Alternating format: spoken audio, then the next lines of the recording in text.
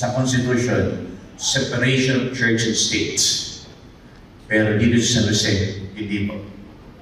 Nagtutulong ang pamahalaan at ang simbahan para magkaroon ng magandang syudad ang San Jose del Monte.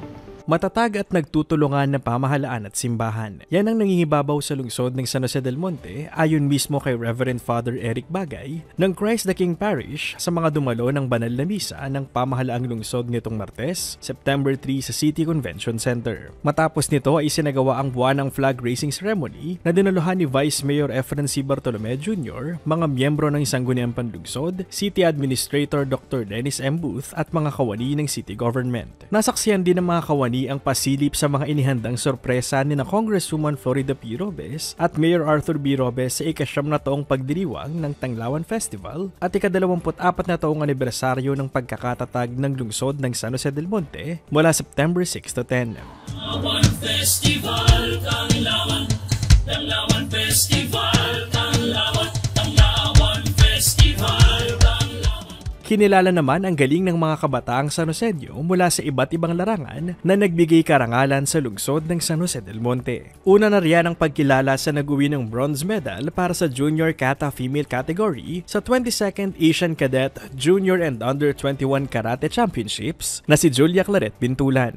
Nilahukan ito ng 29 na bansa sa Asia na ginanap sa Philippine Sports Arena nitong August 23 to 25. Bukod dito, kinilala rin ng CYSDO o City Youth and Sports Development Office sa pangunguna ni Luis Gutierrez dahil isa sila sa naging national finalist bilang Outstanding Local Youth Development Office sa First Positive Youth Development Awards nitong nakalipas na buwan. Ang labintatlong ESPES o Special Program for Employment of Students beneficiaries naman na nagkamit ng espesyal na karangalan at Latin Honors sa kanilang paaralan, kinilala rin kasama ang Public Employment Service Office sa pangunguna ni Perfecto Jaime Tagalog.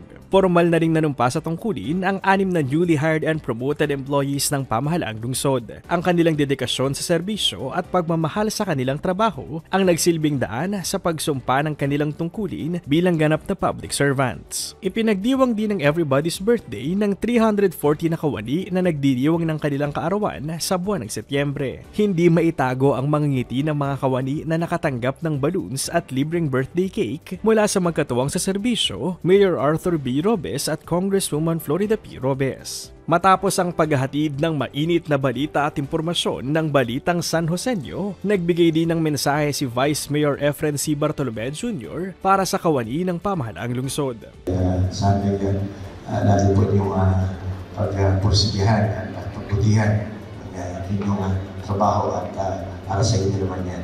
Uli po ay uh, sa ating po lahat ng ating mga kawanan, ating uh, pamalusod, patuloy po natin isamahan ang uh, magagandang programa ng ating mahal na mayor, aming partner, Mayor Dolores, siyempre, patuwang po ka nag-iisang ating ating komunidad. Kasama si Mira Bonyon Laksamana para sa Balitang San Joseño, ako si Jeff Andrade, Public Information Office.